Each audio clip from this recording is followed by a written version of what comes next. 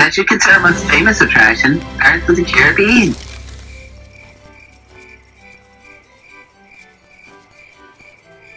Urgh, I'm a pirate.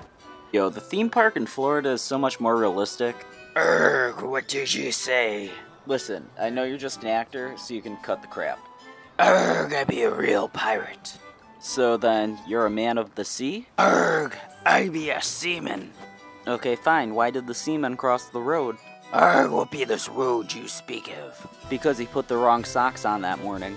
Urgh, what be these socks you speak of? Okay, buddy, you can you can really cut the crap. I know you're just an actor. I be a mighty pirate with a mighty gun. So if you're a real pirate, then you'll have to kill me if I steal your gold, right?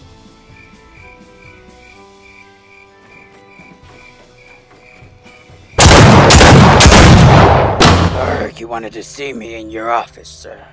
You're fired. Wait a minute, why am I fired? I didn't break character or anything. You just broke character. Uh, yeah, but I'm in your office, I'm not outside. Does that count? Oh my god. Yes. Ah, for fuck's sakes! Bloop bloop. Bloop bloop bloop. Bloop bloop bloop. Join the Bloop Bloop Army today or you're a furry.